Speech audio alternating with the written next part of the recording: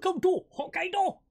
As we kick off our new journey here in Japan, we are of course playing as Hokkaido Consadole Sapporo. Have hired May, yes, they have hired they've confirmed the appointment of Best in Management. Yes, Bim, of course, May as the club's new manager. Eyebrows have been raised in the world of football at the appointment of the 56 year old who has recently spent time away from club football. I bet you can't guess what Bim has been doing. But and he is sure to face plenty of questions when he faces the media for the first time at Sapporo Dome. May has put pen to paper on a one-year deal worth 3.9 thousand per week. He replaces previous manager Mihajlo Petrovic. Now, a little bit less than Mr. Bim May is used to having, but whereabout is Hokkaido? And more specifically, whereabouts is Sapporo in Hokkaido? Well, as you can tell from this helpful little map of Asia, or more specifically Japan, China and Korea, with a little bit of Mongolia and Russia thrown in, it's over in the northern section of Japan. So, as you can see, there is this lovely big island up on top of Japan, and that is in fact Hokkaido, for those who are not geographically used to Japan. In terms of Sapporo, though, more specifically, Sapporo is here on the western southern side of Hokkaido and is quite the size. So, as you can see, this is where our club is located. A little bit far from the coast. It would have been better in Otaru if we wanted to be more coastal, but nice, lovely place. We'll have a little look around here in just a second, but let's head on back in have a look at our contract and see what the board wants from us as a manager. Okay, so Mr. Yoshi, not the one from Mario, but Yoshi Kazu Nonomura is here to welcome us. He is, of course, the chairman of the club, and well, we are a two and a half star reputation team, and the media predicts us down in 13th. I think we are going to do a little bit better than that. Director of football, we have one, and we even have an assistant manager. So, nice established club here. We have Hiro Katsu Mikami as our director of football and an assistant manager in Shuhei Yomoda. In terms of the club's history, as you can see, we have quite a few titles to our name. But first of all, we're going to have a look at the facilities. So we have a 41,484 capacity stadium built in 2001. So it's nice and reasonably modern. We then have great training facilities, great youth facilities, and excellent youth recruitment. That's going to be great going forward. In terms of the upcoming season, well, last season we finished 12th in J League 1 they're expecting us to drop down a place, so they're not very confident in our ability to maintain that 12th place, which is a bit worrying.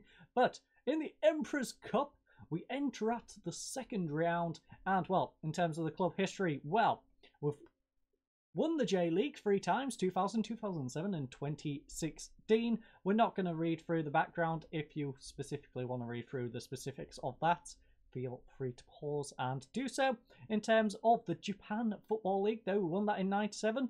We won the Japan Regional Kanto League Division 1 1977. We then won the Japanese National Shaka Ijin Soccer Championship in 1977. We've also won the Japanese Soccer League Division 2 1979 and 1989. The Japanese Soccer Division Division 2 Eastern Bloc 1987, 1988, and 1989. They really should give some of these championships shorter names. And the Japanese Kanto Senior Soccer Tournament of 1976. So, that is our club cabinet. What about the rest? Well, as you can see, we go for a very interesting formation. I have not looked at any of this, so this is all new to me as well. We're going for a 5-2-2-1. I think we're going to make it a bit more European. I'm not so keen on this. Maybe the five at the back we could possibly keep with, but the two midfielders with the two attacking mids and the one striker, I am not keen at all with that. I would rather shift them out to the wings if we're going to do this, or maybe have one with two strikers. I don't like the 2-2 bit. The 2-2 bit just seems a bit weird to me, to be honest. So we're not going to keep that formation. Like I said, we might keep some aspects, but not all of it. As you can see, on loan, these two players... Oh, okay, all five of these are out, I believe. Yes. So, on loan to... Of these any good? So, we have this guy, who is at Brisbane, of all places. Okay, so he's two star, three and a half, potentially four and a half, 19 year old Japanese winger. So we could bring him back and use him on the wing. He's two star. He is three star, three star potential. So he's solid. He's a wing back left 25. We are, of course, going to have a look at who we've got and what we can utilise there. Another good youngster, 21 year old Iwasaki. He's two and a half star, three and a half star, potentially four and a half star. Lovely physicals. The great thing about this save as well, we're not going to have to worry about aggression, so I can get some nice youngsters in without worrying about trying to limit myself to a minimum aggression in this save. We are just going to enjoy Japan and the beauty of this lovely country. In terms of other players, though, we've got a 20 year old striker. He's good. Two star, three and a half star, four and a half star again potential. These all developing out at other teams right now, but he's a solid striker for the future. And then the 21 year old centre back, he's not so good. Two star, two, potentially three. We could do with getting rid of him, to be honest. He's never going to make it. I'm sorry, Hammer, but you are never going to make it in my team because you just don't have enough potential. Simple as that. You don't have the potential to make it into our team. In terms of the club culture, the five-year plan, etc., work within the wage budget, we always do that. Sign players to sell on for a profit. Well, we're probably going to... We're not intentionally going to do that, but unintentionally we'll probably end up doing that because I like to buy younger players, so they end up being worth more anyways. End of the current season, we have mid-table of the J-League, Emperor's Cup, fifth round minimum. J League reach first round minimum. Uh, best in management. Bim's contract ends, so this doesn't really matter because our contract ends at the current season, but we should get a new contract for season two. And then we can try and go for a top half and challenge for the league in season three. We're going to try and accelerate that. I think we should aim for top half this season. We'll try and push on top five or six maybe here. Not necessarily challenge for the title, but make a push up the league. And then maybe this season we will be challenging for the title. So I've got slightly loftier ambitions in terms of the introductions. Well, it's automatically sent me the tactical introduction. Don't need any of these sent really, so we are just going to skip ahead, I guess. So, schedule a press conference to meet the media. I guess I can do that. I will do that on my own time though. You don't really need to sit through the default media briefing at the start. Arrange an inter-friendly to assess the players. Nope, we're going to assess them against external teams. Send an advice report. You know what? Yeah, why not? Send that to us. So, we have been hired. I will go through some of this messy stuff in the introduction and then we shall have a little look around Sapporo. Okay, so welcome back to our helpful little map of Sapporo, and the first couple of things I would like to look at are what this market actually shows, and then, of course, the Sapporo Dome, which we shall be playing in. So, this particular marker for our club is right here. What is here? Well, it's the Mishwa White Lovers Football Stadium. Hmm, the Lovers. So, if you are a lover and you are in Japan, this is the place to go. Come watch some football. We also have a nice little restaurant here at the Lovers. Maybe it's a very romantic restaurant. What is on this dot? Let's find out.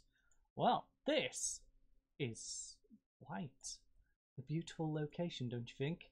Not a bad little spot for our ground. As you can see, it's just over this fence here, so it's just through there is where I'm assuming that's our youth pitch because of course we do play in the dome for our main games, the 40 odd thousand. So I guess this is where we train and our youth team etc plays, which as you can see, besides the fact that, look at that, even the lamppost has our badge on it.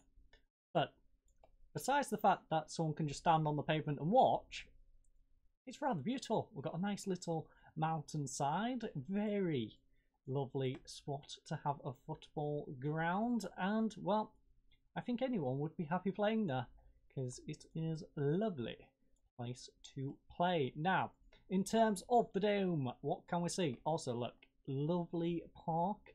We're not going to click on everything in this episode because we don't want it to go on too long. We do, of course, have to have a little look through the team and try and figure out what our formation is going to be. And that is, of course, what we're going to do next. But I want to take a little bit of a look in Sapporo. We're going to have a little better look in future episodes. But for now, we want to check out our main ground and our youth ground. So we are going to go here. This is our main one and we can have a proper look in it. So let's drop down here. This is, of course, when it's for baseball. So nice internal and very big and round. I don't think we're going to be playing on a round pitch because that would not be the best of ideas. So I guess it's sectioned off when we play. Can we get an image of when it's a football pitch, not a baseball pitch, perhaps? Hmm, that's not what we want. Maybe we just hover over and find the one we are after. Yeah, I'm not sure what that's supposed to be. Why we're looking at an escalator through glass? No idea. But this is where we shall be playing when there's not baseball going on, apparently. So, nope, we've got baseball again. I apologise. One of these has to not be baseball, surely. Can we... Can we see it with soccer? Can we see soccer ball? Can we see the soccer balls?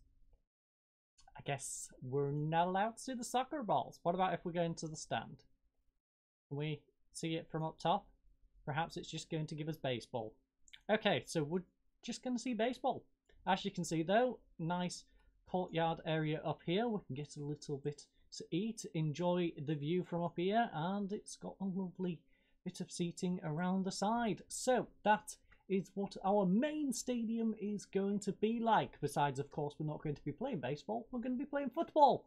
So let's head on back into Football Manager 21 and have a look through our squad. Okay, so before we decide on a tactic and arrange the plays, we need to have a little look at our finances because we are of course going to find some holes in the team that we're going to have to fill. So first of all, our overall budget is, uh, sorry, balance is 6,153,757 on the back of 13 million of profit. Hmm. I mean, it's about half, just under, admittedly. And 100% of transfer revenue will be retained up until 67. Yeah, I can't see us making 67.76 million revenue anytime soon, where it will drop to 60. We're going to get a minimum of 3.85 next season, but right now we have 980,140. Now, to put that in some sort of context, because this is the Japanese league, and like me, a lot of you probably don't have any idea what that is relative to the rest of the league, except I have seen this, and well, they managed to. Hmm. They've just got 3.7 million. 3.7 million is the top transfer, followed by freebie, admittedly, but 1.8. So we're half of the third place one. The most active team has currently got two players. I think that's probably going to be us by the time the end of the transfer window has happened. If I didn't look at our wage budget. Okay. Right, our wage budget isn't great. 76,642 out of 76,400. We're getting rid of our transfer budget. I'm telling you that right now. It doesn't matter who we bring in, we are swapping this to wage budget. We're going to have £44 in terms of our transfer budget. That is our wage budget. In fact, I might even change the currency. I might. If I'm feeling spicy, I might change the currency, make it a little bit more regional, or I might just leave it at pounds. Pounds is easier to follow. I don't know. If you have a suggestion, please feel free to leave it down below in the comments, and I will probably do what your suggestion says because I really don't care which way. It's going to confuse the heck out of me, probably changing it to yen, but we can do that for a little bit of fun if you would like. Anyways, let's head over to the squad screen and see what we've got. We are, of course, going to skip over that because we want to see where our ability lies. So, our best three players, two are Brazilian, one is Thai. That's a good point. What do we have in terms of rules for the Meiji Yasuda J1 League, or as I just call it, the J1 League? As you can see, the names are corrected. We don't have any badges, unfortunately, but I did manage to get the names corrected, which is a good sign. In terms of the season preview, as you know, we are expected to finish 13th, so we don't need to go over that. Money, top of league gets 12.6 million, 5.6, 2.9. That's a massive drop off from there to there and there to there, and then 1.2. Very big drop off, and then yeah, two teams getting relegated, one in the relegation playoff, so potentially three relegated teams. But what do we have in terms of foreign player rules? Discipline, that's not too much of an issue. In fact, how many substitutes do we get? Okay, squad registration, maximum of five foreign players, maximum squad size of 25 players. That's not too much of an issue because I like to keep a small squad anyways. Transfer windows, we have a couple and a freebie one. Emergency goalkeepers can be signed at any time during the season, so that's not too much of an issue, although you don't really want to risk that in terms of loaning a keeper in. Hmm. So maximum five foreign players. How many do we have currently? That's the question. Because our best three players are foreign players. Okay, we have five. We have more than five. We have three Brazilians, one that's English, and a Nigerian, a Korean, and one that's Thai. Okay. Why do we have seven? Is our... Are we crazy? We can only register four of these players. We have seven. So, there's definitely going to be some departures because I'm not holding seven players when we can only have four foreign players. So that is the first thing. We need to clear out our foreign players. And the first step is seeing who's actually any good. So, the first lot, it's going to be these three. So, who is our worst foreign player? Our worst foreign player is the very old Jay Boothroyd. This man used to be good at football. Now he's a little bit old and he's gone to Japan. He's also earning five and a half grand. Who is paying? Well, we know who is paying five and a half grand to Jay Boothroyd as an impact sub. I don't know why. He's got one England cap and a one under 21 cap. Those who don't know who Jay Boothroyd is, yeah, this is his history. Spent a little bit of time at Arsenal, didn't do anything, went to Coventry, was okay at Coventry, went to Italy for a little bit, went on loan to Blackburn, where he scored one goal in 11 games. He then went back to Italy before returning to Charlton in the Premier League. Yes, Charlton in the Premier League. That's how old Jay Boothroyd is. He then went to Wolverhampton Wanderers in the Championship. Now, I would say Wolverhampton Wanderers, Stoke Cardiff, this sort of area. This was his heyday, especially that last one at Cardiff. He then fell off a cliff, cliff though when he went to QPR, getting two goals in 21 games and one goal in four before going to Sheffield and only getting one in 14 on loan. Then he went to Thailand. Didn't realise he went to Thailand, but he did. He got six goals in 16 games and then he was actually quite good in the second tier of Japanese football, getting 20 goals in 32 games for Iwata. I'll just call him Iwata because I'm not going to try the first bit. And then he got 14, which is decent in 22 games, and then 10 in 14 for us, of course, Sapporo. So it was decent back then, but the past two seasons, 9 goals in 23 games and 24 games, that's not good enough. We need to get rid of him. He's old. He's past it. Let's get rid of Jay Boothroyd. That's one of our first steps. As you can see, we've got a few players loaned out. When we get rid of some of these foreign players, we might bring some of our young players back because they're going to have an opportunity to shine, especially considering we don't have a whole lot of depth. So, the three that we're definitely going to be keeping are Lucas. Is this Lucas Lucas? Different Lucas. Not the Lucas I'm thinking of. But a solid Lucas nevertheless. 4 star, 4 star potential, right footed. As you can see, he's a solid winger. Probably not going to use him on attack, maybe more on support. He can play at wing back, he can play on both sides, and he can even play as a striker. But he's probably going to be on this right hand side unless I can find someone else to put over there. We then have Lopes. Now, he's a central. That means we're probably going to go for our usual 4-2-3-1. I don't want to do it, but if we have to do it, we'll go for it. Although, striker. is what he prefers to be. So we could use him as a striker. A Brazilian striker would be nice for us. 14 finishing, 4 star, 4 star potential. So that's two of our starters. What about you? Where would you prefer? The left hand side. Perfect.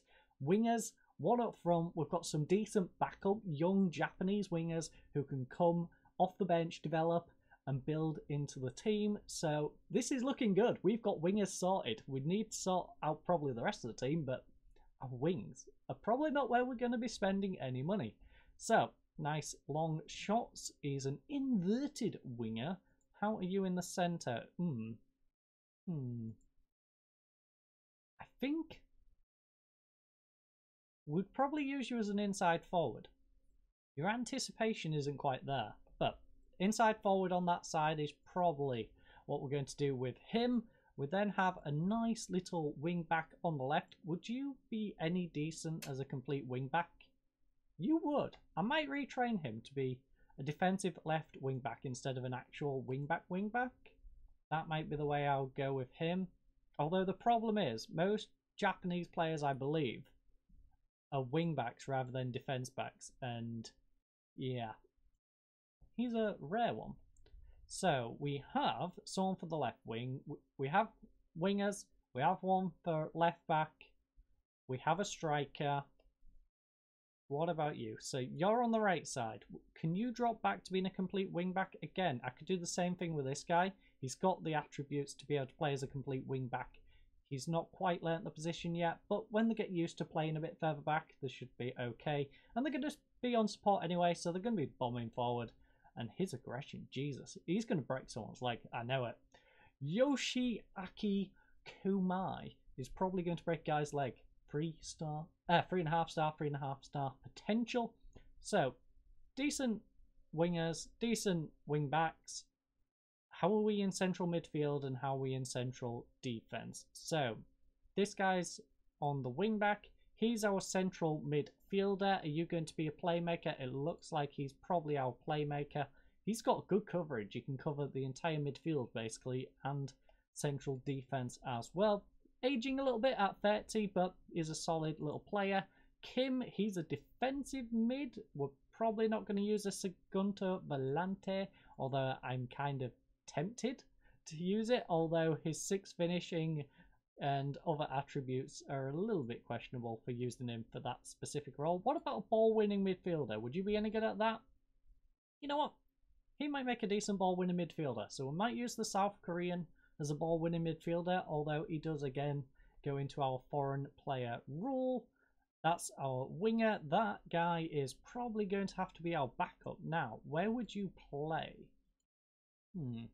Okay, he would be a backup on the left back. We'd have to train him to be defensive left. We're going to have a lot of repositioning, I think, of players. We're going to definitely go more European defensive left instead of wing backs. And yeah, we're definitely going to alter the Japanese approach in terms of our specific club, anyways. And there is one of our centre backs. He is solid. I'm happy with him. Goalkeeper and centre back is probably Okay, we've got another decent centre back. He's three star. This guy's a ball playing defender as well. We'll use him on defensive. He'll be okay. So got a couple of defenders. Goalkeeper. Okay, goalkeeper, 20 years old, two and a half star. Is he... Do we have anyone with potential? Do we have to put a youngster in with potential? Okay, he's the nearest one to potential. We've got this old man at 35 who's going to be on his way out at some point. He's 30 years old and he's useless. And he's 24 and also pretty useless. And the great thing is, he's wanted. So we could perhaps get him out on loan, get some of this wage budget down, and use that money elsewhere. Speaking of said money, we've now got 18 grand of wage, so we'll see what freebies we can get here in Japan. And, well, that is going to be our team. So I am going to quickly set up our team as far as it currently is. I'll see you fine folks in just a second. Okay everyone, I've picked out our final team to start off the season. So as you can see, Naka Kano, the young goalkeeper, is going to be starting. Su Sugeno even, is the guy on the bench. Now, this guy is a little bit old. He's 35 years of age, two and a half star, two and a half star potential. He was our main goalkeeper last season, I believe. Nope. No idea who our goalkeeper was last season. He had one appearance on loan. So I guess we got rid of whoever was our main goalkeeper because Naka Kano is two and a half star, two and a half star, potentially three and a half star, only 20 years of age. We're using him because basically he's got more opportunity to develop, and heck, we can sell him on afterwards. But as you can see, never played a game in his life, so that's going to be rather interesting. He's going to be in goal. We've then got a back line of Tanaka, Fukumori, Yanagi. On the left hand side is going to be Suga, Komai on the right in central midfield, Kim, Mi, Tai, Mi, Yazawa on the left hand side, Song Krasin on the left, uh, right even, Lucas, and up front is Anderson Lopes. A couple of easy ones to say further up the pitch. Our bench for now is Sugeno. We need to get another backup right wing. As you can see, we also need a backup left wing. Our backup centre backs are Takamine, Okamura, Nakamura, Fukai is going to be our backup for the right hand side. So for our playmaker, we then have Arano. As you can see, he can play wing back right, but he's mainly a midfield centre as far as I'm aware. So Arano is going to be our backup for Kimi Tai. We then have this guy. Again, a lot of these are very versatile. So we have Arako. He's actually able to play in quite a lot of spots, but he's going to be our backup on the right hand side of midfield. 23 years, 23 years of age, got plenty of time to develop. But on the other end of the spectrum, we have Ono. Now, if you don't know who Ono is, he is quite the legend. He's only valued at 25,500 at the moment, 800 odd pound a week, bargain for a 56 cap, 6 goal legend of Japan. He is now 40, but this man is a mythical legend in Japanese football. As you can see, he spent a good time at Red Diamond, had a few solid games, but he then went and shone over in Feyenoord before returning back to the Japanese league for a couple of seasons. He then went to Germany for three seasons and then back to Japan. Yes, he always seems to return home, then headed to Australia, decided to enjoy Australia for a couple of seasons, and then came back home yet again. So he's back here in Sapporo after a couple of seasons in Ryukyu, and well, he's here to stay now. So he's going to play out the rest of his career. Don't know if that's going to be two years, five years, one year, what. He's 40 years of age. He wasn't, to be honest, my chosen backup because he's actually on here as a central attacking mid just to give us an option in this slot if we decide to, say, take a defender out, put them up there and go to our usual formation, drop these back. But he's not bad.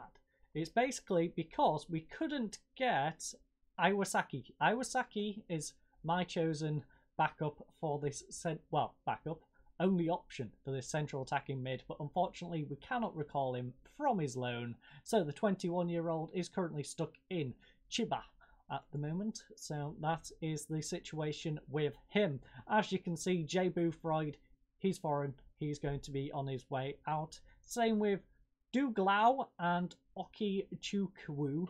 As much as I would like to have one of these as a backup, we only can have four foreign players. So we are going to get rid of all three of those. And I might, if I can find a way of getting a replacement, try and shove out one of these as well. But as you can see, they are part of our main core.